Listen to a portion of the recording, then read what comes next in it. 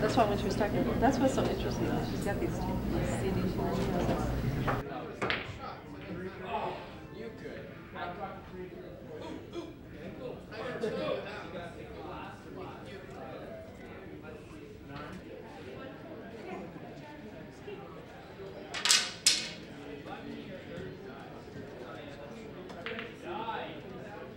It's appropriate. I mean, I think a lot of times people sketch out ideas from, from they, they rough out uh, shots or shot ideas, and then they'll go back and rework a treatment from those shot ideas.